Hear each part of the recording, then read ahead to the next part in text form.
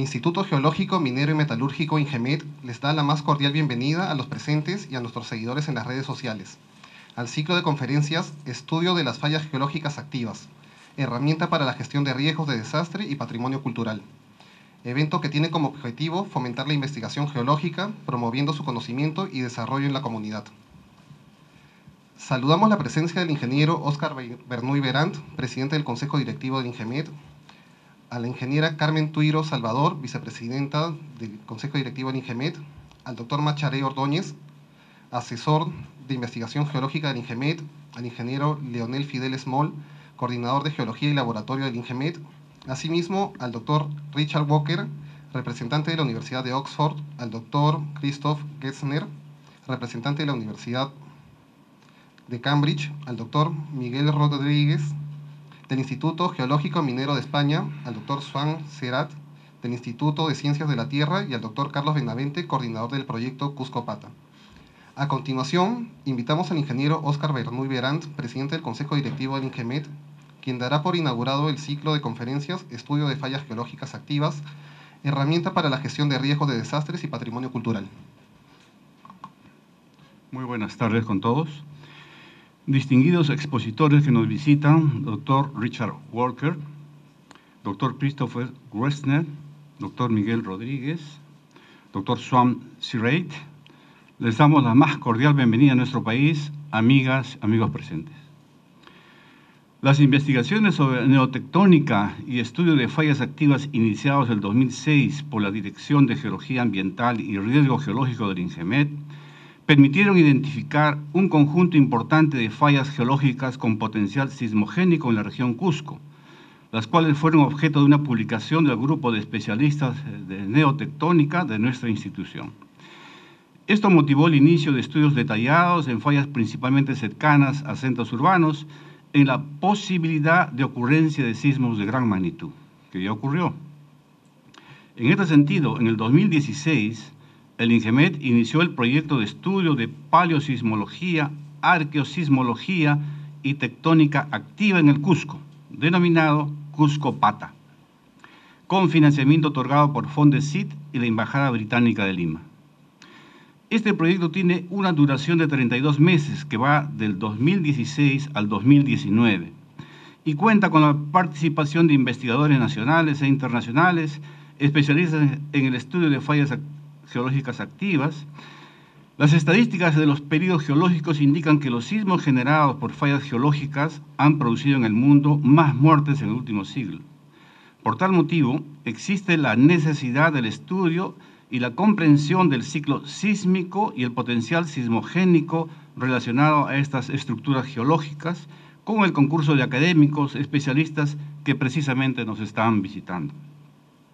En este sentido, en el marco del proyecto Cuscopata, organizamos estas conferencias que reúnen a investigadores nacionales e internacionales quienes nos explicarán sus experiencias de otras partes del mundo y las perspectivas de su trabajo en este proyecto nacional.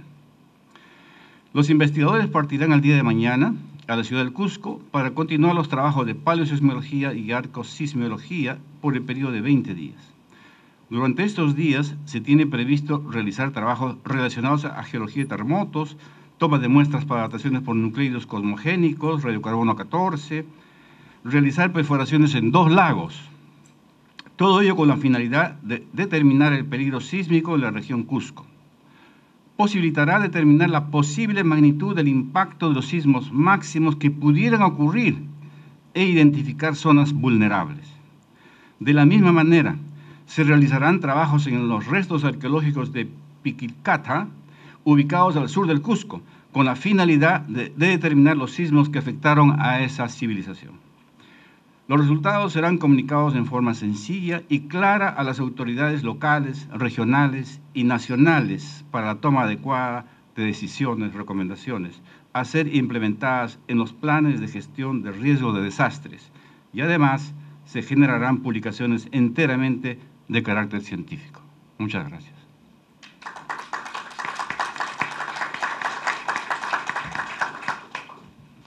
Continuando con el programa, damos inicio a la primera exposición denominada Earthquake hazard in a megacity, active faulting without the urban region of Tehran, Iran. A cargo del doctor Richard Walker. Okay, thank you to all of you. Um, I'm afraid I don't speak any Spanish, so I will try and speak slowly in English. My name is Richard Walker, and I'm from the University of Oxford, and I'm very, very pleased to be here today. My first visit to Peru, uh, my first visit to, to South America, to, to the Andes at all. So it's a very exciting time for me. Much of my work has been focused in the interior of Asia, and I've been looking at active faults and earthquakes and the building of mountains within some of the, the major mountain ranges of Asia uh, since my, my PhD. What I will talk about is this city, Tehran. Right? Iran has, well, basically, uh, much of the interior of Asia has many large cities, many of which are facing earthquake hazard at the present day. Tehran is a is a in a, in a particularly uh, hazardous place. Uh, uh, it is situated at the bottom of these large mountains that are called the Alborz Mountains, and in fact there are active faults within the urban region of the city itself. The city of Tehran has been destroyed by earthquakes four times in its in its past in 855 AD, 958, 1177, and 1830. But in all of those times, it was a small town. And it is only the last 50 years that it has grown into a megacity with a population of 10 to 12 million. And so the urban growth actually postdates the knowledge of, of, of, that historical hazard.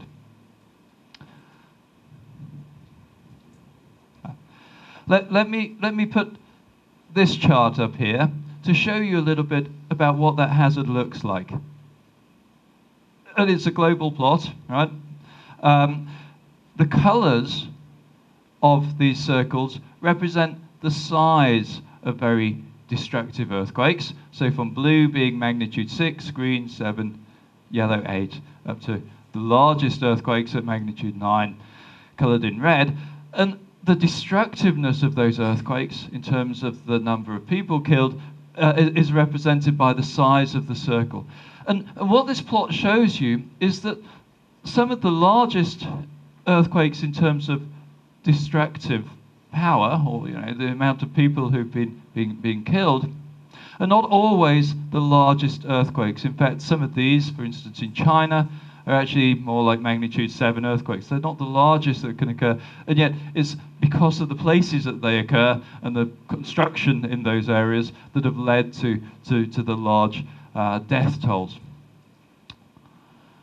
We can also see in this global compilation that destructive earthquakes have become more common over the last few centuries. That's not because the earthquakes have become more common, but it's more that we are seeing the effects of more and more cities, larger populations accumulating in particular places. Right? So in this plot, you can see that um, well, it starts in 1000 AD, it's about 1000 years here up to the present day.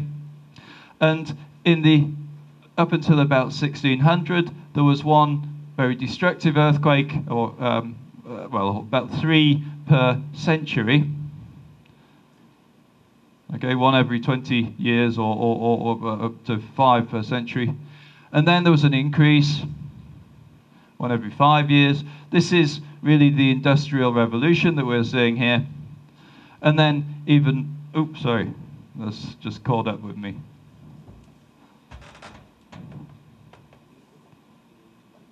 Yeah, it was just, uh, it froze for a while and then suddenly jumped many Okay, thank you. And so even in, in, in, the in the most recent century, we have seen many more. So so this is an increasing thing. It's related to, to population and the growth of urban urban centres. Okay, so what is actually happening within the interior of Asia? Well, we have three main collisions between continents Africa, which is moving northwards, Arabia, which is moving northwards, and India, which is moving northwards. The red dots show the occurrence of earthquakes, and you can see they spread over very large regions. So here in India, um, the, the, the, the, collision is accommodated across a zone about two to 3,000 kilometers in extent. So many earthquakes on many faults spread over wide regions, right? So this is, in some ways, what, what, what is creating the challenge, right? It's not just one fault that, that is creating all the earthquakes, many or wide distributions um, of earthquakes on wide distributions of faults. Um, so the, these are the mountains of northern Iran. Tehran is at the southern edge of these mountains, and there is about four to five millimeters per year of shortening that is occurring across these mountains.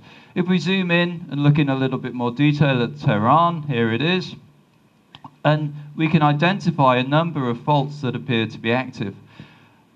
Tehran, the city, actually occupies most of the Tehran plain here. Right? So many of these faults are now within the urban region. And you can see that in the third panel, so I've zoomed in even further. So here are the mountains. There is an active fault along the edge of these mountains, and then everything else is city.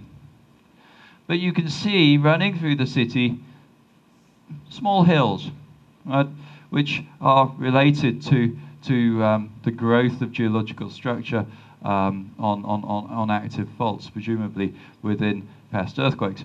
Uh, just to get home to you here that in 1956, when there was an aerial survey done of the city, this was the size of the city here, and now it covers this entire region. So it's grown by a factor of 10.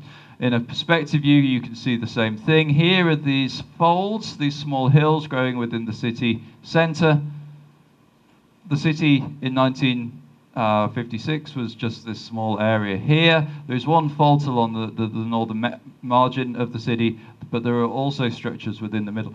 The fact the city has grown over many of these active faults makes them very hard to study, right? But what I want to show you is how we might approach that in a, in a, in a place like Tehran. Well, uh, well, one thing we can do is to use older imagery. Uh, so this, these are aerial photos from the 1950s. Uh, there is the town.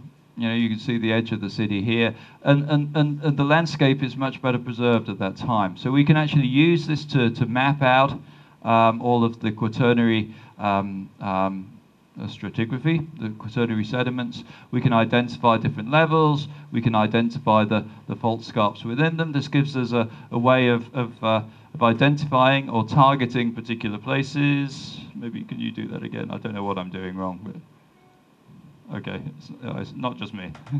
right. Um, we can then use uh, modern uh, satellite imagery, stereo satellite images to produce digital elevation models, digital topographic maps of, of, of, the region. So this is of Tehran city. You can see the fold going through the middle. We can make, we can extract profiles, topographic profiles along this line, and you can you can see that the ground surface is is, is warped, and the height uh, the, the there's a change in height across the edge of this fault. Right, we can go and find just a few places that are remaining where you can still see the natural um, exposures that aren't covered in concrete. Most of it is. In fact, this place is now covered in concrete too. Most of the rivers have now been uh, uh, channelized and set within concrete channels. So it's very rare that we can actually find places to, to, to look and examine the geology, but using this kind of data combined with the, with the older imagery, older aerial photos, we, we, we can locate some of those places. Okay, we can then target those places, we can go and collect samples for dating, find the ages of the, of, of the various uh, uh, warped um, uh, quaternary sediments. So we can turn that information into a rate of, of, of motion across this fault. The, the, results of this work, which, which were uh, published in a paper last year by a, a, co a colleague of mine, Mortaza Talabian, from the Geological Survey of Iran, was that the, this, this fault here actually has a rate of movement of at least one millimeter per year. So it's actually quite a major structure. Uh, by contrast, the fault along the edge of the city is moving at a fraction of a millimeter per year. So, so in, in some ways, the most hazardous or potentially hazardous structure is the one within the interior. However, nowhere do we see the primary fault at the surface. We did not find that exposed anywhere, and there is no paleoseismology. We don't actually know if this thing has produced earthquakes in, in, in the past, if it has made any of the historical earthquakes.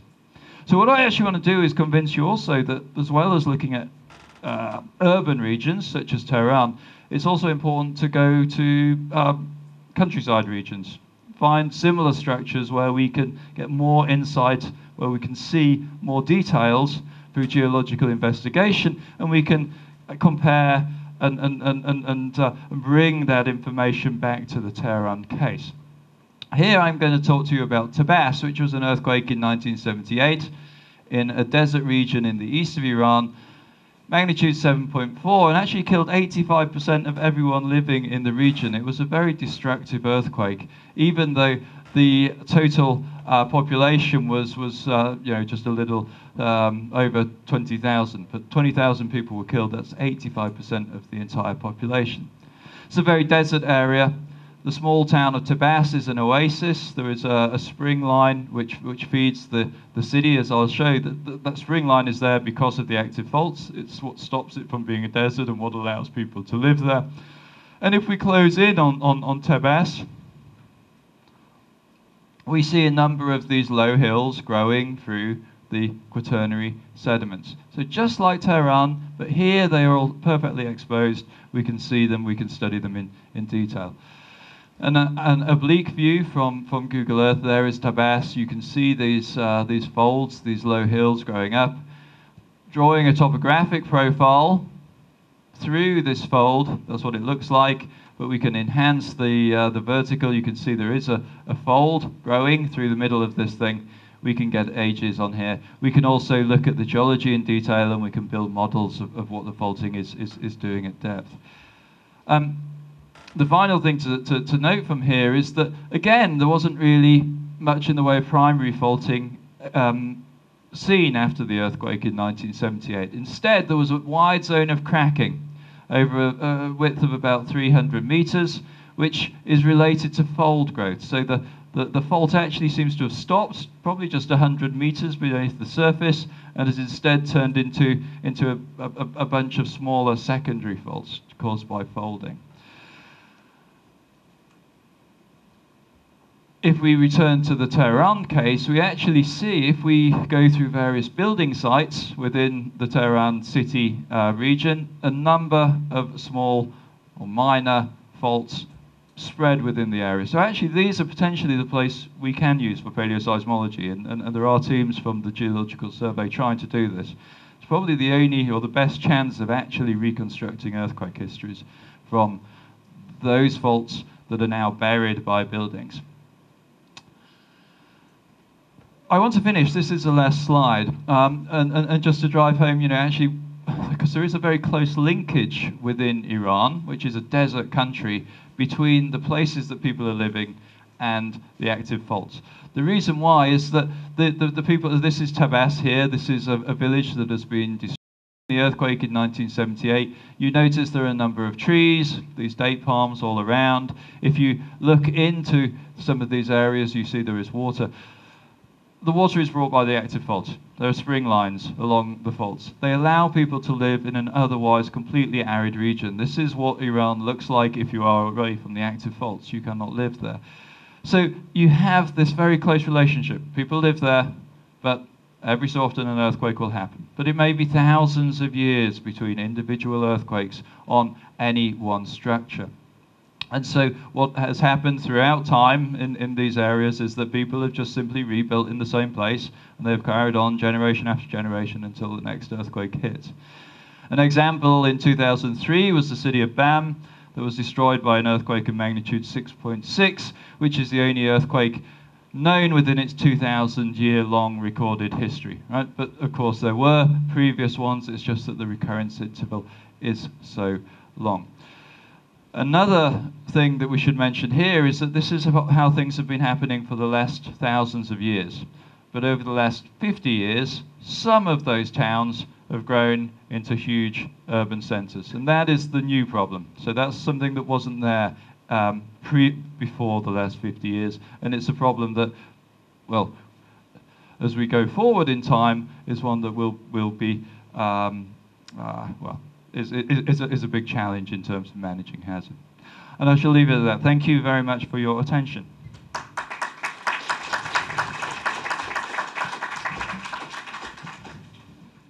Si hubiera alguna pregunta sobre el tema tratado,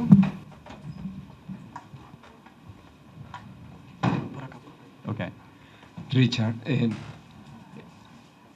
eh, first in Spanish. Eh, eh, imagino que hay una, un código de construcción en, en Irán y si es que eh, las características de estas fallas activas son tomadas en cuenta. Is there a, a building code uh, in, in Iran or for Tehran?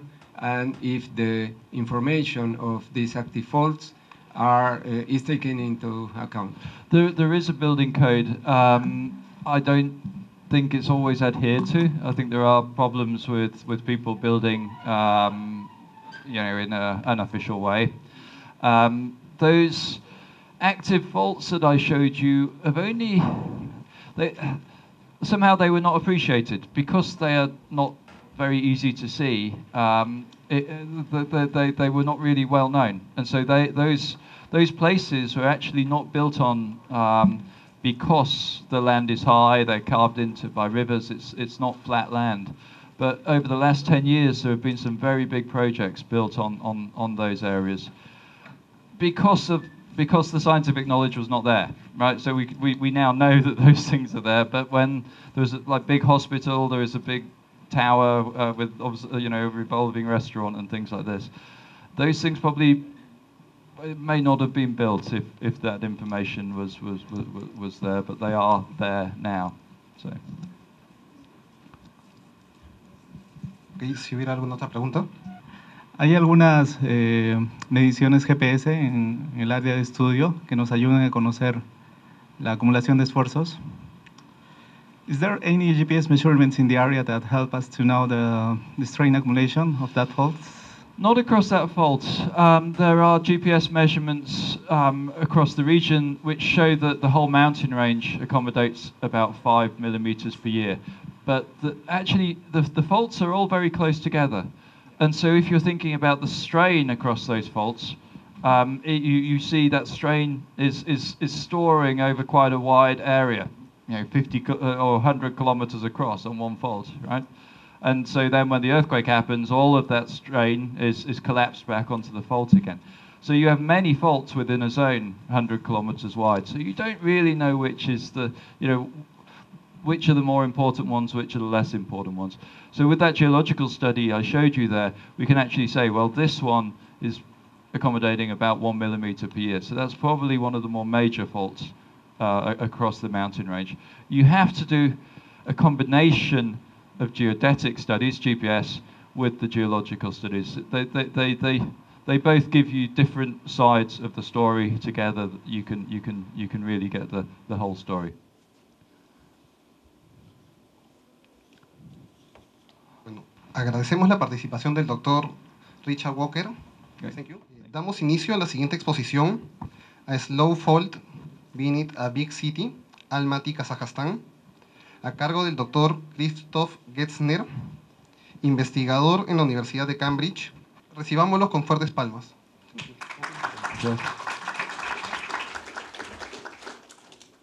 Thank you very much. Um, my apologies, I also don't speak Spanish very well, so I, I also have to give this talk in English, but I'll speak slowly and hope you can, can follow. I will talk about a kind of detective work that we did in Kazakhstan, in the city of Almaty, the former capital of that country. And during my talk, I hope you will will see that some things in my working area here are very similar to what Richard was just talking about in Iran, but there are also some interesting differences between Iran and Tehran and Almaty, the big city in Kazakhstan. So this is our area. India is moving north with 40 millimeters per year and crashing into Eurasia. And as you can see, India is very happy. The crust doesn't deform very much. But here, Tibet is really unhappy, is deforming, and also the Tian Shan here is deforming a lot. And actually, one quarter, around 10 to 12 millimeters per year of north-south shortening happen here in this rectangle. So that's an interesting, that's an interesting area for us. And this is where Almaty is located, the former capital of Kazakhstan. So that's a more, more detailed map of our study area here. What we know is that instrumental seismicity is not very large. So all these black dots are earthquakes, stronger than magnitude 4.5, though there are earthquakes. But the really strong ones, they're really rare. Um, you see, we have some earthquakes of which we know the source parameters very well. So we know about the, the depth and also about the mechanism, but it's not very many. However, Almaty, the gray area here, has been destroyed by big earthquakes at least three times in the history. In, um, in 1887, there was an earthquake down here, and it destroyed the city. We don't know much about this earthquake. It was before we had instruments like seismometers to investigate the earthquake, and the earthquake did not rupture the surface. So we only know it happened somewhere in the mountains, and it was probably around magnitude 7. But this is from the damage pattern of the city. However, two years later, there was a very big earthquake, magnitude 8, and it did rupture the surface for more than 100 kilometers, a gigantic earthquake, and it also destroyed Almaty. And that was a very significant event. Um, this is what happened in 1889. So this four meter high fault scarp happened within two seconds in 1889. So a really big impact on the landscape. And then a couple of years later, there was another strong earthquake, also magnitude 8, in 1911. And here, these yellow lines is where it ruptured and offset the surface. So what you can see here is this earthquake happened quite far away from Almaty, but destroyed the city. This earthquake happened also far away from Almaty, but it destroyed the city. And this earthquake happened close to Almaty, but probably not on the main fault which is below the city. So what I want you to see on this map as well is that the, uh, the city of Almaty is situated right at the northern edge of big mountains, right? And um, there, of course, is a big thrust fault the mountains are uplifted, they are five kilometers high, and here we have the stable platform where it's a proper place to build a city. So we know that there's an active fault, but however, we don't know when it had its last big earthquake. So the problem is, from the Almaty mountains, we have no reports of any surface ruptures. Also, we don't know about the slip rate of this fault. We don't know about how often we have big earthquakes we don't know about the magnitudes that can occur on these faults. So basically, we know not much about the seismic hazard that this form, uh, this fault uh, means for Almaty. And there are two million people living in Almaty, so we better have a good idea on the seismic hazard, right? So maybe the absence of any Holocene surface ruptures or any reports on these surface ruptures means there haven't been any earthquakes in the Holocene at all. However, I think um, probably the evidence for big earthquakes have just been overlooked because they are very subtle. And that's the question we wanted to ask, and I'm going to tell you how. We went to the field, we spent a lot of time driving around and having a look at the geomorphology. And we used different kinds of high resolution data sets to find out about the traces that the earthquake left in the morphology. So this is a close up here. This is Almaty again. And we had a look at 11 key study sites along the range front. And I'll show you some examples of, of what we found there. What we did is we measured the offset in landforms, for example, in river terraces or in alluvial fans. We used differential GPS for that. We had our own drone with us, a little quadcopter. We took aerial photographs from the drone and we could produce a digital elevation model from that. We used uh, structure for motion techniques.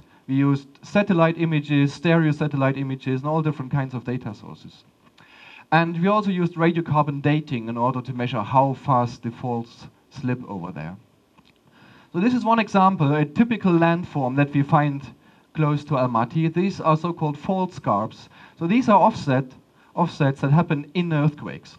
So before the earthquakes, these surfaces are flat, and after the earthquakes, they have a step in the landscape. And over the years and millennia, the scarp degrades and becomes a soft geomorphological feature. So what you see here are scarps that probably formed in many earthquakes, not only one, but maybe one, two, three, or maybe four earthquakes. It's hard to say, but um, we don't know. And what you can see is that these scarps, these steps in the landscape, they vary in height. So we identified several generations of alluvial fans in the landscape. The younger ones are named 1, 2, and uh, the older ones are named 3 and 4. And we measured the height of these fault scarps on these alluvial fans.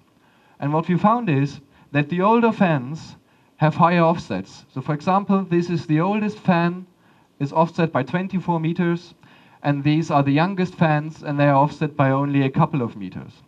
So this means we have several earthquakes recorded in the landscape by fans of different ages. That's a pretty cool result. And we found uh, a couple of sites where we could observe this kind of geomorphology. At least the younger of those fans and those scarps are Holocene in age. So I think we have good evidence that there have been Holocene earthquakes in Almaty, just nobody had looked at them in detail. What we also looked at were deformed and uplifted river terraces. So this is a nice little river coming out of the mountain front. And what you see is, this is the old river bank uplifted. And this is an even older river bank, even more uplifted. And here's an even older river bank, and it became, became more uplifted. So here's our fault, here's our active fault. And with each earthquake, the river bank becomes uplifted, like in an elevator. So these old river banks, these old terraces record tectonic uplift over several thousands of years. And what we did is we took our drone and made a beautiful elevation model of all the river terraces. So you see here's our oldest river terrace and subsequently there are younger terraces. And uh, we measured the offset, so the higher terraces are up to 50 meter above the modern river, and the lower terraces are still a couple of meters of um, a couple of meters uplifted. And what we also did is we dated some of these terraces. So that's the terrace which is 10 to 14 meter above the modern river. And here we found a layer with charcoal in it, little bits and pieces of charcoal, of carbon. And we dated those charcoals and they're around 13 to 14,000 years old. And with these 13 meters of vertical uplift and an age of 13,000 years, we know that the uplift rate, at least in the Holocene, was around one millimeter per year. So that's uh, the first slip rate from this fault actually that was ever going to be published very soon, I hope. And um, we found other evidence for active tectonics in that area. Uh, here is a slope map of the area, and what you can see is incision. And you can only produce this incision if the area is uplifting. So if you have uplift, then the rivers want to incise. If there's no uplift, the rivers don't do that. They just meander and are peaceful. But our rivers, they incise, so this means there's, there's uplift. And we found some anticlines here at the edge of the city. And we found, or colleagues of us found another interesting site over here where it looks like there's nothing at all. But here, 10 meters below the surface, we have offset and deformed sediments, soft sediment deformation. And our colleagues dated this to about 17,000 years. So what that means is along the range front, along Almaty and the neighborhood and the surroundings, there are several hints of tectonic activity. Even in downtown Almaty, we can measure that.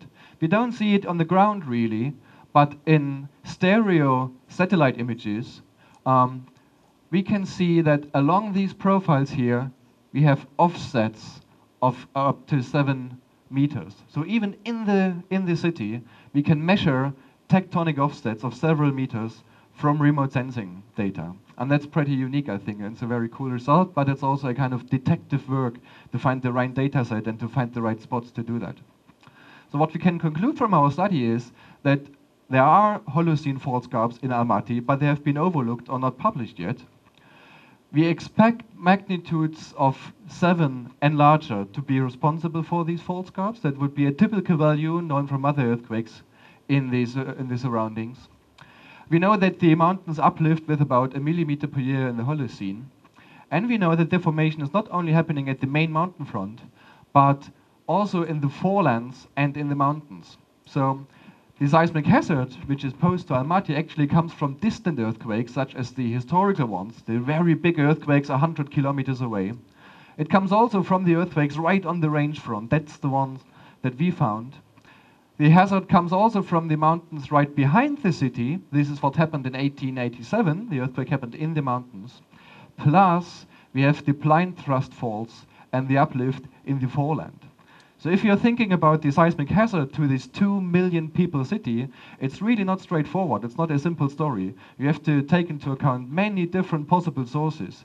And um, I think it's really difficult to draw a proper hazard map of Almaty. In fact, you have to color the entire area red and say, oh, this is a bad place and it will be destroyed in the future. But there are so many different sources that it's, it's really difficult to say something more precise. So, but what we know, what we do know from our study is that if you use modern techniques, good data sets, and if you really have a close look to the uh, geomorphology, you can really find out about where the tectonic deformation is taking place. Muchísimas gracias.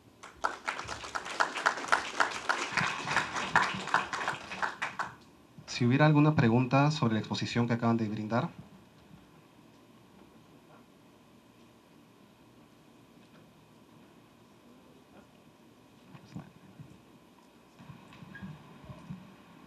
Thank you, Christophe. Uh, how do you take into account uh, the climate signal in the in the growing of your terraces? Yeah. Uh, That, that's interesting. Yes, that's true. These um, um, these river terraces they're not only sensitive to tectonic uplift, but they're also sensitive to, to due to uh, to climatic changes. Um, there is a relatively good terrace uh, correlation established in the Tian Shan. So from terraces nearby, uh, from Bishkek and Kyrgyzstan and so on, we have a rather good idea on when these terraces tend to form. And what we find is that they tend to form um, when the climate changes. So they tend to form not uh, in the glaciers or in the interglaciers, but when, when the change takes place. So we use this uh, as an indicator for when we have to expect the climate signal in our uplift. And we found, however, that the terraces uh, formed when there shouldn't have been that climate change as well. So we have to compare with other studies, and we have to do more extensive dating, of course. Yeah, but that's a major problem, right? Agradecemos al doctor Christoph Gessner. Continuamos con la siguiente presentación, los terremotos perdidos, la arqueosismología como herramienta de detección de terremotos pasados. Bueno, antes de comenzar, pues eh, me gustaría agradecer a, a Ingemet eh, que haya contado con, conmigo para poder estar aquí y participar en, en este proyecto que creo que, va a ser un éxito para, para Perú y también eh, agradecer siempre pues, la, la calidez de, pues de, la gente de, América Latina que siempre le hace a uno sentirse como en casa, ¿no? Así que la verdad es que para mí es, un placer poder estar aquí con, con todos ustedes. Bueno, yo he planteado esta, esta pequeña conferencia más que como una muestra de los estudios que estamos realizando, mmm, más que como esa muestra, como un intento de cambiar la mentalidad que tenemos con respecto, sobre todo, al rico patrimonio que tienen pues, países como pueda ser Perú o pueda ser España, ¿no? con numerosos, eh, numerosos eh, restos arqueológicos, que muchos de ellos son patrimonio de la, de la humanidad, ciudades eh, que son patrimonio de la humanidad, y que sin embargo no están del todo consideradas con respecto al, al riesgo sísmico. Bien, Así que eh, he estructurado la conferencia en estos cuatro puntos, una introducción general, luego veremos a ver esa parte importante que es la arqueosismología, que es la que nos da esta, esta imagen y este, este concepto de, los terremotos y cómo afectan al patrimonio, y cómo lo podemos aplicar a esa protección de, del patrimonio, que quizá esté un poco, un poco desamparado. ¿no? Y bueno, terminaremos con unas, con unas breves conclusiones. Bien, este es el, mapa oficial del Instituto Geográfico Nacional en España, no el Instituto Geológico, el Geográfico, que es el, organismo que es el encargado de, del registro sísmico en España. Y eh, bueno, pues eh, como pueden ver, la principal zona de, eh, de mayor peligrosidad son las béticas por la cercanía al límite de, placa y al acercamiento de la, de la, placa africana, y bueno, también la zona de los Pirineos y algunas otras áreas. Pero bueno, no quiero entrar ahí, lo que quiero que se fijen es en este numerito que hay ahí, que es el periodo de recurrencia, son 475 años. ¿Por qué quiero hacer énfasis en estos 475 años? ¿Y por qué son 475 años y no 500 o 501 o 502? Bien, son 475 porque es lo que eh, la ingeniería da como periodo de vida útil de grandes infraestructuras, como puedan ser puentes o grandes infraestructuras hidráulicas como las presas. De ahí que es el, punto en el que ellos se toman como nivel de referencia. ¿Se ha ido un poco el color? Sí. Bueno, entonces, según ese, según ese periodo de tiempo, hay otras obras hidráulicas en la península ibérica que ya están amortizadas, como por ejemplo el acueducto romano de Segovia, que es patrimonio de la humanidad también. Si seguimos este concepto, pues bueno, ya podemos despreocuparnos de nuestro patrimonio de origen romano, pues porque ya está amortizado, ¿no? O sea, según la ley española. Bien, también, pues bueno, estas construcciones románicas que son medievales, del siglo XII, siglo XIII, siglo XI, eh, como, como, los propios arquitectos eh, medievales decían, estas construcciones se, estaban, estaban, hechas para la eternidad. Las construían para la eternidad ese concepto choca bastante con esos 475 años. Y además también ya también estarían, estarían amortizadas. No, ¿Qué más da? O sea, nos podemos despreocupar del románico si lo tira un terremoto. Está amortizado. Bien, y por qué no hablar de nuestros restos de época islámica, como por ejemplo la Alhambra. También están dentro, o sea, fuera de ese periodo de los 475 años, así que bueno, pues puede ser destruido por un terremoto que no, no va a pasar nada, ¿no? Según la ley. ¿eh? Otra cosa es lo que nosotros pensemos. Bien, pues con todo esto, eh, los métodos de evaluación del riesgo sísmico, pues bueno, podemos ir a probabilistas, deterministas, pero al fin y al cabo una gran parte de nuestro patrimonio queda enmarcado dentro de los periodos de recurrencia eh, que contemplan los sistemas probabilistas. Quedan fuera, con lo cual mmm, difícilmente es compatible con una gestión del patrimonio correcta y una legislación que se ajuste a, estas, a estos niveles de peligrosidad. Y por otro lado, el patrimonio que ha sido construido dentro de estos periodos de recurrencia, ¿vale? por ejemplo como el gótico, el gótico español, eh, también tienen un riesgo importante porque los grandes terremotos que se espacian mucho en el tiempo, con periodos de retorno de 4.000, 5.000, 8.000 años, que los hay en la península ibérica, no están contemplados en esos mapas de peligrosidad. Con lo cual, lo miremos desde donde lo miremos, la peligrosidad concebida como se concibe actualmente es difícilmente aplicable a la protección del patrimonio. Tenemos que cambiar un poco esa idea a futuro, porque si no lo que estaremos haciendo es dejar el patrimonio en manos de la suerte. Y yo creo que eso, ninguno de los que estamos aquí nos gustaría que, que eso sea así. Bien, pues eso es lo que hace que nuestro patrimonio, como esta iglesita que hay aquí, pues quede un poco desamparado, ¿no? Está ahí desamparado sin nada alrededor, nadie que le, que le, cuide, ¿no? Está como muy desamparado. Sí, tenemos un registro, ¿no? Un registro instrumental e histórico, pero es incompleto. En la península ibérica por lo menos lo es. ¿eh? Y aquí es menos porque como hay más actividad, pero bueno, también hay lagunas importantes de información, por el mero hecho histórico se pierde la información, etc. Bien, así que nuevamente nuestro patrimonio queda aislado. Y además se comete un error generalizado, y al menos en España así es, y en gran parte de Europa también lo es. Y es que el patrimonio no flota en el espacio, no flota en el éter, sino que está sustentado sobre algo, que es la geología. Geología con la que interactúa, y eso se nos olvida sistemáticamente, o la gente que es legisla, los legisladores, se les olvida sistemáticamente esto. Entonces los planes de prevención contra el riesgo de gran parte del patrimonio se hacen sin tener en cuenta el sustrato geológico donde se asientan ¿eh? las construcciones o los elementos patrimoniales a proteger. Esto es tremendamente grave, pero es así y ocurre sistemáticamente. Entonces, esa interactuación no siempre es pacífica, sino que pueden ocurrir eh, eventos eh, catastróficos como puedan ser inundaciones o terremotos. He metido también las inundaciones porque desde el Instituto Geológico y Minero de España hay un grupo de compañeros que también está trabajando en este sentido, pero en relación a inundaciones que puedan afectar al patrimonio. Entonces, estos efectos, por ejemplo, los terremotos, van a dejar esa huella en el patrimonio. Va a dejar esa huella en el patrimonio, igual que las inundaciones, que puedan dejar sedimentos y restos que posteriormente puedan convertirse en arqueológicos. Bien, pues toda esa información que queda contenida en el edificio hasta, hasta ahora no se había tenido en cuenta la información que contiene el edificio. Sí se había contemplado, por ejemplo, la información documental que pueda haber escrita pues, en monasterios, en las cartas capitulares, de las iglesias, de las catedrales, etc. Pero elementos arqueológicos, sedimentarios, dendrológicos, es decir, por ejemplo, la viguería de madera de muchas de estas construcciones da una cantidad de información extraordinaria también, o por ejemplo los propios daños estructurales. No se ha tenido en cuenta hasta ahora. Toda esa información debe de incluirse en esos catálogos para extraer esa información de grandes catástrofes. Y de esta manera tendremos un conjunto de toda la información, cosa que hasta ahora eh, falla sistemáticamente.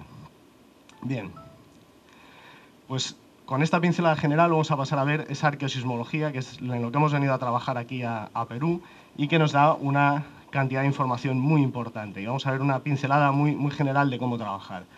Bien, esto es, eh, un, vamos, es un fresco del Palacio del Té de Mantua, en Italia, que se titula La caída de los gigantes. Es de Giulio Romano, es de un, de un discípulo de Rafael, y Giulio Romano, para pintar este fresco, tuvo que ver un terremoto. Si no es imposible pintar lo que pintó. ¿Por qué? Porque representa un montón de estructuras que nosotros denominamos efectos arqueológicos de terremotos o Earthquake Archaeological Effects. Y a partir de ahora voy a utilizar el acrónimo para ser más rápido, que es EAS, ¿vale? De Earthquake Archaeological Effects. ¿Cuáles son esos efectos? Pues, por ejemplo, caídas orientadas de las columnas. ¿Qué más efectos hay? Se ha ido. ¿Qué más efectos hay? Pues por ejemplo, muros colapsados y orientados. Ahora ha vuelto el color y se va. bueno, tenemos también impactos de bloques de sillería, fracturas conjugadas, típicas de terremotos. Ahí tenemos también, es que se va, viene, por ejemplo, restos humanos debajo de los colapsos, también es muy común, y un clásico, y que voy a utilizar de hilo argumental a partir de ahora, que son las caídas de las claves de los arcos. Esto es imposible que Julio Romano lo haya pintado sin haber visto los efectos de un terremoto. Absolutamente imposible, porque es que ha hecho un catálogo muy completo de lo que son esos efectos en una pintura. Con lo cual, Julio Romano debió de sufrir un terremoto en Italia que le diese esta información. Bien, con todo esto, la arqueosismología, que es un método, nos va a dar datos de terremotos que no han sido inventariados hasta el momento o que su información se haya perdido a lo largo del tiempo. ¿vale? Ha habido guerras, hay incendios en los archivos, etcétera, que ha, hecho que se haya perdido gran parte de esa información. Y luego también nos va a dar un dato muy importante, que es cómo se comporta nuestro patrimonio ante los terremotos, si queremos intervenir. Bien, y por otro lado, también la arqueosismología nos va a dar pistas de que ha habido un terremoto y nos puede permitir ir a la geología para ver qué fallas activas han sido las responsables de la génesis de estos terremotos que nos ha enfermado la arqueosismología y viceversa. ¿vale? El proceso es reversible, o sea, podemos ir en las dos direcciones. Con todo esto vamos a obtener nuevos datos que se puedan aplicar a la peligrosidad y el riesgo, ¿vale? entendido más bien desde una perspectiva determinista, ya que hemos visto que el otro pues, no deja de ser jugar a la lotería, y por otro lado nos va a permitir implementar medidas de protección. Esa es una de, las, de, los valores quizá más importantes. Bien, con todo esto, eh, lo que hay que plantearse, o desde el grupo internacional que estamos colaborando, que también se encuentra, por ejemplo, Christoph, pues es, lo primero, necesitamos una metodología científica y reglada, que no existía hasta el momento. Había prácticamente literatura pura. Eh, desde principios del siglo XX se habían hecho interpretaciones arqueológicas de daños en, construcciones antiguas en ciudades eh, romanas, etcétera, con terremotos en el pasado. Pero no dejaban de ser cosas descriptivas sin un método científico. Entonces, lo que hicimos fue plantearnos clasificar lo primero esas, esas deformaciones.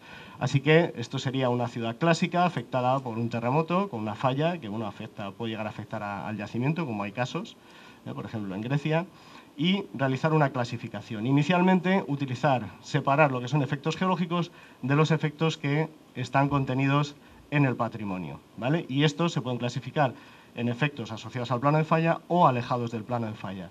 Y a su vez, estos, los que están asociados a deformación transitoria del sustrato o los que afectan ya por encima del sustrato a la fábrica del edificio. Así ya tenemos una clasificación muy general. Y vamos a ver un par de ejemplos muy rápido porque no, no tenemos tiempo. Estos serían, por ejemplo, caídas orientadas de columnas en la ciudad nabatea de Petra, aunque esto es de la parte romana. Esto ya es de cuando, de cuando esta ciudad pasó a ser romana. ¿eh?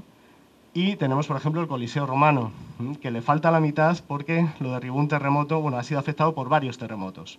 ¿eh? Pero el último que lo afectó fue en el siglo XVI y destruyó la mitad del Coliseo porque la mitad está asentado sobre sedimentos blandos del Tíber, la otra mitad está sobre roca consolidada y el efecto sitio hizo que la mitad del Coliseo se viniese abajo. O sea, no por un error de construcción de la ingeniería romana, sino porque lo tiró abajo un terremoto. Y si nos vamos aquí a los límites de esta ruina estabilizada que han consolidado con hormigón, podemos ver esto. Las claves caídas de Julio Romano. y es además esta estructura la que vamos a utilizar un poco de, hilo argumental. Así que ahí, tenemos esos EAEs.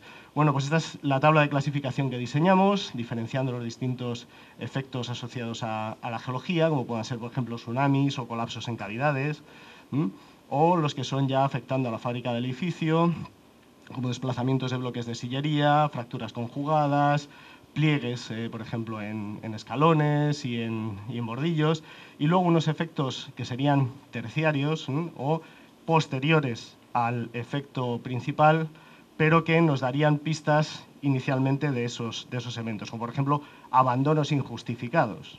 Por ejemplo, eh, pues los arqueólogos españoles les gusta mucho utilizar lo de que, bueno, y vinieron los hombres del norte y ¿cómo que vinieron los hombres del norte? Si no había guerras en ese momento durante el Imperio Romano, ¿cómo que vinieron los hombres del, norte y abandonaron tal ciudad? No, hombre, no, o sea, que hay cosas que... Entonces, esos abandonos injustificados son los que también nos pueden llevar a, hacer este tipo de interpretaciones, o grandes incendios después de un terremoto, con los colapsos, los hogares con, con fuego siempre manteniendo la comida caliente y demás, pues fueron los que generaban también incendios posteriores ¿no? a, los terremotos. Bien, y bueno, viniendo esta mañana para acá, pues eh, una compañera en GEMET me ha preguntado, que anda por aquí, Lorena, y se me ha preguntado, ¿y cómo diferencias? Entonces, aquí tenemos dos fotografías, y dices, ¿cómo diferenciamos un terremoto, por ejemplo, de una ruina o de un bombardeo? Pues digo, es muy buena pregunta, porque ese es el siguiente paso. Hemos clasificado y ahora hay que tomar los datos y tratarlos. Bien, pues estos son dos imágenes distintas y son el terremoto de la Emilia Romagna en el 2012 y estos son imágenes de un pueblo de Aragón, en España, que fue destruido por combates eh, en septiembre de 1937 durante la Guerra Civil Española. Esta es una fotografía del 2008 que pasa a blanco y negro para darle otra, otro aspecto, pero en la actualidad se encuentra así, porque se mantuvo después como bueno, un ejemplo de que no, lo que no debe volver a pasar. ¿no? Y eh, si nosotros miramos estas dos imágenes, aparentemente son iguales, no podríamos diferenciarlo. Pero sí podemos hacer una cosa, y es medir la, la deformación. Los dos casos están deformados, hay deformaciones en los edificios. En este caso, por terremoto, esas deformaciones van a estar orientadas, porque la onda llega con una determinada orientación, y más cuando estamos cerca del plano de falla, y en este caso, un bombardeo, pues vas a tener deformaciones en todas las direcciones del espacio posibles. Esa es la manera diferencial. Utilizar la geología estructural aplicada a deformaciones en edificios. Esta sería la línea argumental o el diagrama de flujo de la metodología. Lo primero sería clasificar los efectos, se toman esos datos, se hace un análisis de la deformación, que al fin y al cabo es un análisis estadístico como se aplica en geología estructural, y obtendríamos pues, esa dirección de movimiento del sustrato, movimiento medio del sustrato, y quedaría asociada a lo que en geología estructural denominamos dirección de máximo acortamiento en la horizontal. ¿vale? Con todo esto tenemos unos resultados y al final veremos si esos, esas deformaciones están sistemáticamente orientadas o no. Si no están orientadas, obviamente aquí hay un terremoto y si están orientadas, pues aquello apoya bastante esta situación. Aparte se cartografía todo, cartografiamos las deformaciones igual que cartografías un mapa de geología estructural. Bien, esto sería la reducción más simple, siguiendo con el arco caído, o sea, con la clave de arco caído, y bueno, pues simplemente sería el, el de esfuerzo y deformación, que es lo que pretendemos obtener analizando esas deformaciones en los edificios. Esto sería la caída de una clave del arco en la ciudad romana de Bailo Claudia, está en el sur de España, eh, junto al estrecho de Gibraltar, y bueno, pues fue destruida dos veces por terremoto, y la última ya quedó totalmente abandonada, hasta la actualidad que se ha excavado, y con estos datos podemos obtener esas direcciones, que en este caso tiene un rango de error de 45 grados en función de, de, la dirección de la llegada de la onda y con todos estos datos, acumulándolos y representándolos, obtendríamos al final esa información de la orientación. Bien, esto es eh, Lorca en el 2011, que fue pues, muy dañada por un terremoto de muy baja magnitud, 5,2 nada más, y que, sin embargo, al ser muy superficial, generó bastantes daños. Solo hubo nueve víctimas, nueve muertos, pero generó 11.000 desplazados, que se dice pronto, ¿eh? 11.000 desplazados, sin casa. Bien, pues estas dos iglesias que colapsaron fueron las dos únicas iglesias que colapsaron por una razón, y fueron por malas intervenciones que se hicieron malas intervenciones, pero con buena intención. ¿Por qué eran con buena intención? Pues porque se hicieron para evitar humedades en las techumbres de las dos construcciones y ahí se ven colgando las láminas de hormigón que colocaron en los tejados para evitar las humedades. Eso generó una inercia tremenda en la parte superficial de las, de las construcciones e hicieron que ambas colapsasen. El resto no sufrieron daños, pero ninguna colapsó. Solo colapsaron las que habían tenido malas intervenciones. Esto es importante de cara, de cara a futuro. Aquí tenemos una imagen de, estas, por ejemplo, de las claves caídas, se midieron todas las deformaciones, todos los EAEs eh, que pudimos en todo el patrimonio y esta es una imagen del casco histórico de Lorca. La ciudad es más grande, son 80.000 habitantes, pero esto es el casco histórico y estas son las direcciones de máximo acortamiento horizontal que obtuvimos para cada uno de esos EAEs. Está la rosa direcciones, la falla de Alama tiene esta dirección, que veremos ahora en la siguiente imagen, ¿vale? y fijaos que la dirección de movimiento es perpendicular a la falla, es una, falla inverso direccional. Están todas bastante bien orientadas.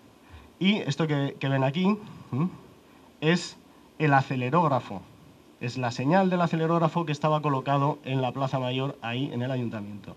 Así que como pueden ver, los EAES son auténticos paleoacelerógrafos. Nos están dando prácticamente la misma información que un acelerógrafo, que una información instrumental, con lo cual es una información tremendamente valiosa de cara a la protección del patrimonio. Esta es otra imagen de la, de la, ciudad, pero ya teniendo en cuenta no solamente el casco antiguo, sino todo tipo de construcciones. Y estas serían las trayectorias de deformación obtenidas para toda la ciudad de Lorca. Esta es la, la, falla que generó el terremoto y el epicentro pues, estaba situado en esa posición. Bien, esto es otro, otro ejemplo, es la, Catedral de Santa María en Segovia, en el mismo lugar donde estaba el acueducto que hemos visto anteriormente. ¿Y por qué pongo esta imagen? Pues porque es muy significativo que bueno, esta, esta catedral gótica, con elementos neoclásicos, fue afectada por el terremoto de Lisboa de 1755. Bien, para ese terremoto la ciudad de, la ciudad de Segovia aparece dentro del mapa de isosistas con una intensidad, ¿vale? para la escala MS del 98, una intensidad de 4. Sin embargo, si nosotros miramos las deformaciones que sufrió la catedral, como por ejemplo estas grietas penetrativas en bloques de sillería que son observables en la actualidad, esto es una intensidad 8. Entonces, ¿por qué se infravalora el patrimonio? Pues porque, por ejemplo, en el caso europeo, la MS del 98 excluye el patrimonio de los efectos. ¿Y qué es lo que ocurre con todo esto? Que luego los planes de prevención contra el riesgo curiosamente, sí utilizan esos mapas de intensidades en los cuales se excluye el patrimonio. Así que mucho ojo con esto. Y aún así se hace. Bien, estas son las direcciones de acortamiento obtenidas para diferentes iglesias románicas, la Catedral de Santa María que está aquí, y bueno, vemos una dirección prácticamente norte-sur, la información es bastante, bastante coherente en toda, en toda la ciudad. Esta es la ciudad de Sevilla, el norte es un mapa antiguo, el norte tiene esta dirección y da también muy bien esa dirección de la llegada de la onda del terremoto de Lisboa. O sea que la información es bastante coherente en todos los Bien, solo poner unos ejemplos, ya que esto no es solamente eh, pues, datos puntuales, sino que es toda la información que hemos obtenido, por ejemplo, en caso de yacimientos arqueológicos en la península ibérica, de época romana fundamentalmente, ya que son los, los mejores, estos serían datos arqueosismológicos obtenidos de la sismicidad histórica también, terremotos históricos, y los datos del terremoto de Lisboa que merecen mención aparte, ya que prácticamente toda la península ibérica se vio afectada por, por ese terremoto. O sea, tenemos una importante, un importante volumen de datos. Y, por supuesto, claro, el terremoto de Lorca, que vino a validar todas las metodologías que habíamos desarrollado hasta el momento. Bien, así que con todo esto, ya muy rápido para terminar, vamos a ver qué influencia puede tener la protección del patrimonio. Y es que terremotos como el de Lorca del 2011 se han repetido en el pasado, como por ejemplo en 1674. Y estas dos imágenes son del mismo muro, estas en la parte inferior y estas en la parte superior del muro. Esta fotografía está realizada por aquí. Y tenemos las mismas grietas penetrativas en los bloques de sillería para 1674 y 2011, y con la misma orientación. Esto sería desplazamientos en bloques de sillería con rotura de las esquinas, en este caso sería el de 1674, y la pátina de carbonato que se ha generado en la fractura saltó y se volvió a romper en el 2011. Igual que estos dos desplazamientos de 1664 y 2011 para estos bloques de sillería. Esta sería la fractura antigua y esta es la del 2011. Y aquí tenemos otra imagen con una reconstrucción, pues elementos anómalos reconstructivos en la catedral y una clave caída en 1674 reparada y el mortero de reparación se ha vuelto a romper en el 2011. ¿Qué quiere decir esto? Que si, esa, si la falla de alama se vuelve a mover otra vez, a la catedral le va a pasar exactamente lo mismo. Con lo cual ya nos da una imagen muy interesante de cómo poder intervenir en el futuro. Esa es la idea. Así que una construcción como esta, si nosotros moviésemos la pantalla en el sentido paralelo a, la pantalla, sabemos qué es lo que le va a pasar. Es decir, van a aparecer, por ejemplo, claves caídas en esta posición, pero no en esta, como tenemos aquí. O van a aparecer grietas horizontales en esta posición y grietas conjugadas en las caras perpendiculares. O sea que nos podemos adelantar a qué es lo que va a ocurrir, sobre todo en campos cercanos, cerca de las fallas. El campo lejano ya tiene mayores problemas de interpretación, pero cerca de las fallas es bastante, bastante fiable, por lo que hemos podido contrastar con terremotos actuales como el terremoto de Lorca o el terremoto de la Emilia, de en Italia. Bien, todo esto, además de publicaciones en revistas científicas, decidimos plasmarlo en un documento oficial, generando fichas de cada uno de los efectos, tanto geológicos, aunque se titule Catálogo de Efectos Geológicos de los Terremotos en España, también incluye la arqueosismología, porque es la única manera de que aparezca en un documento oficial. ¿eh? Porque en muchos casos, si no está en un documento oficial, lo de los papers en revistas internacionales les da igual, o sea, no lo van a tener en cuenta. Entonces, decidimos incluirlos en este catálogo que en un par de meses saldrá la versión ampliada. Es, descargable, ¿eh? lo podéis descargar por la red. Al principio está la metodología, se aplica la escala SI 07 de intensidades de efectos geológicos de terremotos y bueno, creo que es un, buen, documento, pero en un par de meses saldrá uno bastante más completo. Y sobre todo para dar una visión aplicada, como Instituto Geológico de España que somos, pues lo aplicamos también a protección civil y estamos realizando ahora mismo una colaboración con la Unidad Militar de Emergencias, que fue creada en el 2005 a partir de un gran incendio forestal que hubo en España y hasta que no intervino el ejército no se conseguía pagar con los medios autonómicos y demás. Y en ese momento el gobierno de turno decidió crear una unidad militar que sirviese para estas cuestiones, ¿no? porque son bastante efectivos. Entonces, eh, lo que hacemos, lo que hemos hecho con ello, bueno, hemos creado la, eh, la, unidad de respuesta geológica de emergencias, o URGE, en el Instituto Geológico Minero de España, que colabora tanto con la Unidad Militar de Emergencias como con Protección Civil, en cursos de formación y sobre todo también en simulacros. Así que, bueno, eh, la URGE pues, ha. También hemos tenido, hemos realizado formación de cara a Protección Civil Europa, o sea, nos hemos integrado dentro de los cursos europeos para poder trabajar en, escenarios de catástrofe real. Lo aplicamos en Italia en el 2012 y funcionó bastante bien. Y bueno, pues colaboramos todos los años en los ejercicios que realiza la UME, simulacros de terremotos de emergencia nacional, que es donde intervendrían ellos de manera directa, sin que se lo pidan las comunidades autónomas. Y bueno, pues en ellos pues trabajamos en eso, en orientaciones, por ejemplo, de los daños en edificios o creándoles vías preferentes de evacuación, ya que, por ejemplo, si los muros se caen en una determinada orientación, pues hay calles que son más seguras que otras que no que sean perpendiculares donde puedas tener esos colapsos. ¿no? Y bueno, pues es una, yo creo que es una aplicación directa de, de todo esto. Y bueno, simplemente para concluir, pues cuatro pinceladas generales que es fundamental tener el marco geodinámico en cuenta a la hora de proteger nuestro patrimonio. O sea, el patrimonio no flota en el espacio sideral, o sea, está asintado en un sustrato geológico. Y bueno, pues me ha agradado ver también que, que Ingemet tiene estudios en concreto con respecto a esto, cosa que, por ejemplo, no hay en España, y me parece que es absolutamente básico. Por otro lado, eh, la peligrosidad por fenómenos geológicos no contempla los aspectos patrimoniales y son, insuficientes para su protección. O sea, la peligrosidad sísmica no tiene en cuenta muchas de estas cuestiones.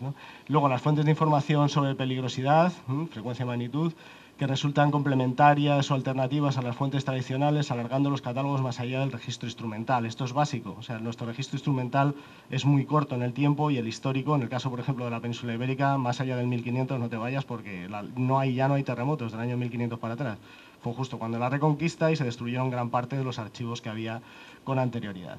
Así que toda esta información arqueológica y, paleo, y paleosismológica es fundamental para la adecuada gestión preventiva y la actuación en situaciones de emergencia. Así que, bueno, con esto pues agradecerles su asistencia y muchas gracias.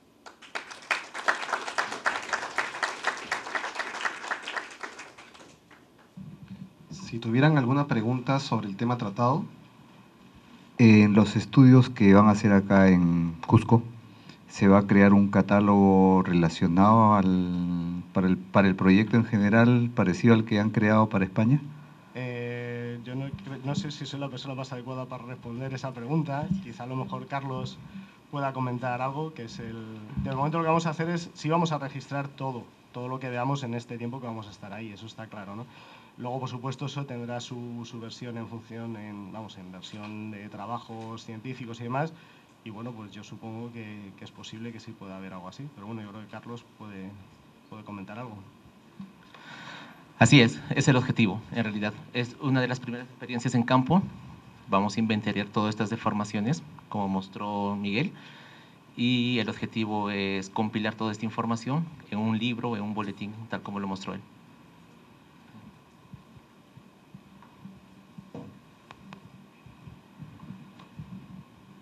Una bien breve, Miguel, es lo que has mostrado eh, es muy útil y eh, espero que lo sea en el Perú para las ciudades cercanas a fallas activas corticales de estas que vemos. Eh, más como curiosidad, ¿hay algunos estudios de arqueosismología también para sismos, digamos, para campo lejano de sismos, por ejemplo, en subducción como los que tenemos nosotros, gran parte de nuestra costa? Eh, hay ciudades y hay eh, eh, monumentos arqueológicos en zonas que no están junto a fallas activas, pero sí sometidas a, potenciales sismos más bien de subducción. Sí, que para campo lejano sí hay estudios hechos, como por ejemplo es el terremoto de Lisboa, en la península ibérica, que sí ya tenemos bastante información y aunque la dispersión aumenta, lo que sí te da es un abanico en el cual te indica la posición del área epicentral. O sea, si tú ves la información de manera aislada, parece que la dispersión de, datos sea grande, pero una vez que lo ves representado en un mapa te da claramente esa orientación, esa especie de cono ¿no? que, te, que, te, marca el área epicentral, ¿vale? y luego ahí ya podrías buscar una falla en concreto. Y con respecto a las zonas de subducción, de momento no hemos hecho nada. Sería un punto también interesante a tratar, ¿no? Sobre todo con algún terremoto, algún terremoto reciente.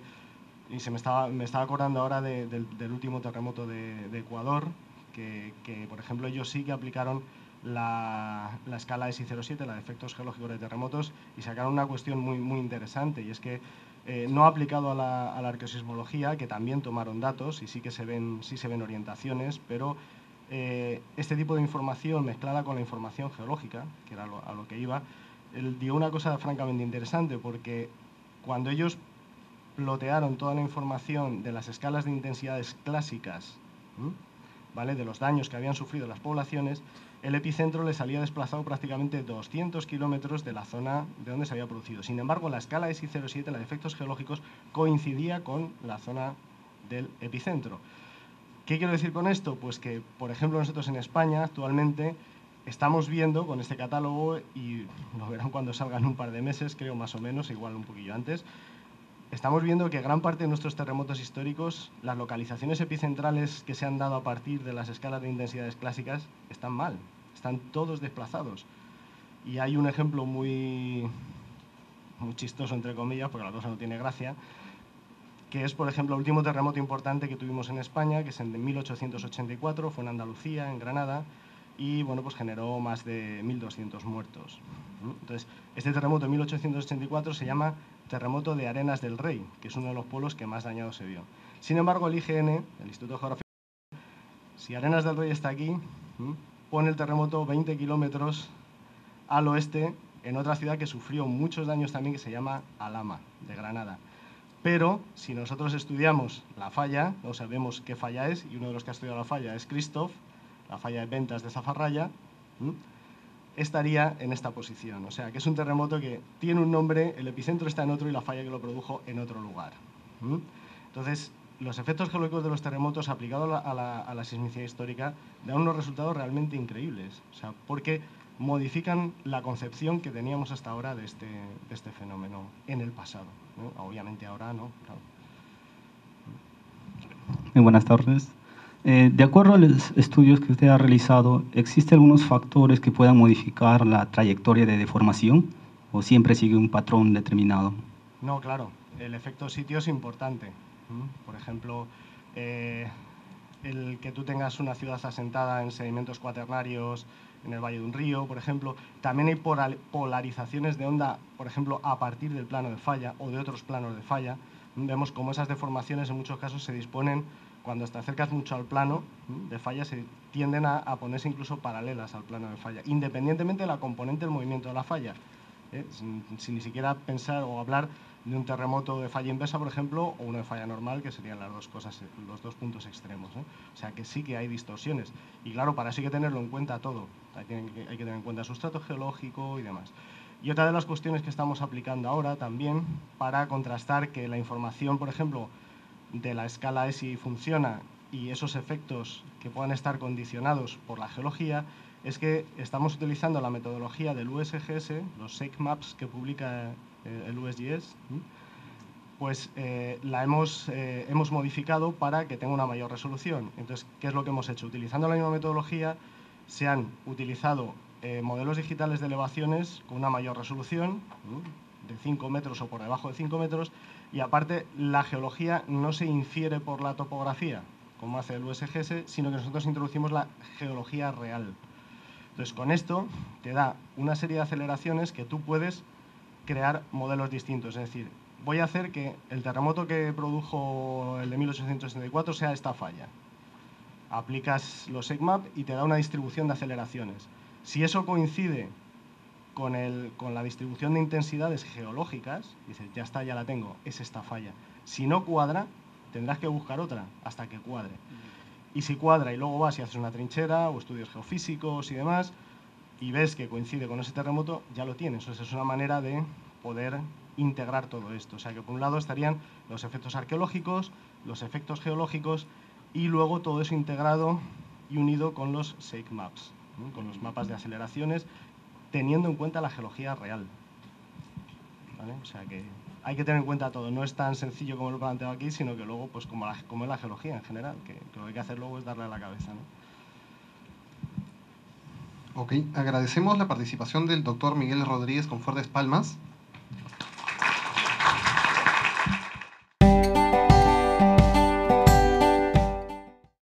Gobierno del Perú, trabajando para todos los peruanos.